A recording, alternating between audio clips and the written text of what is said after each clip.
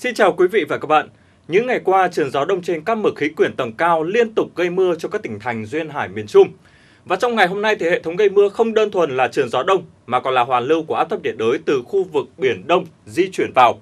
Đến 13 giờ chiều nay thì vị trí tâm áp thấp nhiệt đới sẽ ở cách bờ biển các tỉnh Hà Tĩnh đến Quảng Bình khoảng 220 km về phía đông. Vì thế mà khu vực miền Trung sẽ xuất hiện mưa rông trên diện rộng. Trong đó thì vùng mưa lớn tập trung nhiều ở các tỉnh phía Bắc bao gồm Thanh Hóa, Nghệ An và Hà Tĩnh, Quảng Bình. Dự báo thì tình trạng mưa rông lớn còn kéo dài thêm từ 1 đến 2 ngày nữa, nên người dân thì cần phải theo dõi sát sao các bản tin tiếp theo để cập nhật thêm thông tin. Đồng thời thì hết sức đề phòng với những hiện tượng nguy hiểm như là ngập lụt và sạt lở đất có khả năng xảy ra ở khu vực miền Trung phía Bắc của đảo Hải Vân. Quay trở lại với các tỉnh Bắc Bộ, trong ngày hôm nay thì hệ thống gây mưa suy yếu nên mưa thì có xu hướng giảm hơn nhưng vẫn xảy ra khoảng 2 phần 3 diện tích khu vực. Vào ban ngày thì trời có nắng gián đoạn, nhiệt độ cao nhất thì phổ biến là từ 28 đến 32 độ, có nơi thì trên 32 độ. Tuy nhiên sang đến ngày mai thì mưa rông lại tăng trở lại ở Bắc Bộ, đặc biệt là với các tỉnh đồng bằng, ven biển thì cần phải đề phòng với mưa vừa mưa lớn, kèm theo đó là tố lốc và gió giật mạnh. Ở tại phía Nam, hình thế gây mưa chính cho Tây Nguyên và Nam Bộ trong thời kỳ này vẫn là trường gió Tây Nam. Vì vậy mà mưa rào và rông vẫn xuất hiện trên khu vực vào thời điểm sáng, chiều tối và đêm, có nơi mưa vừa mưa lớn.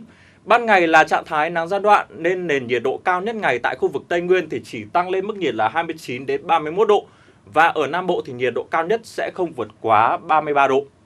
Cụ thể ngày hôm nay thời tiết trên các đô thị lớn được dự báo như sau.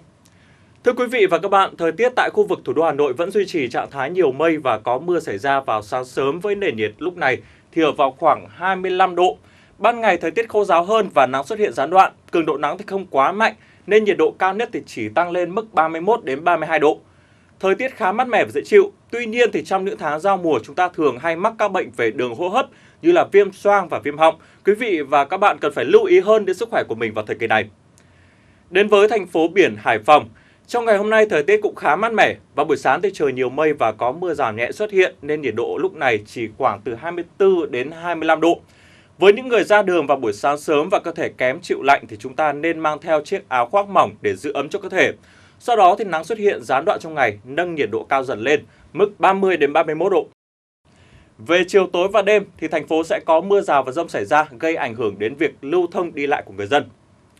Đến với thành phố Việt Trì của tỉnh Phú Thọ trong ngày thứ hai đầu tuần này thì chúng ta cũng sẽ bắt gặp trạng thái thời tiết tương tự như thủ đô Hà Nội hay là thành phố Hải Phòng.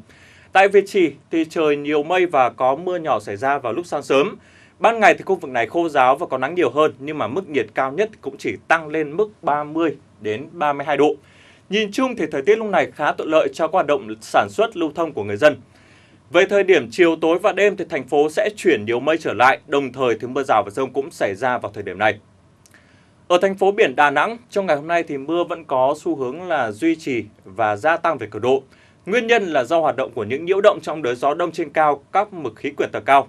Nên mưa rông thì sẽ xuất hiện bất chợt trong ngày.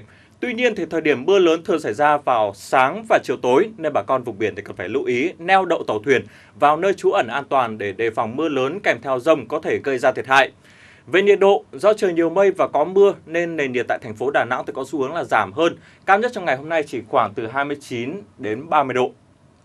Mưa rông vẫn xảy ra ở khu vực thành phố Hồ Chí Minh với thời gian mưa thì thường tập trung vào các thời điểm là sáng, chiều, tối và đêm.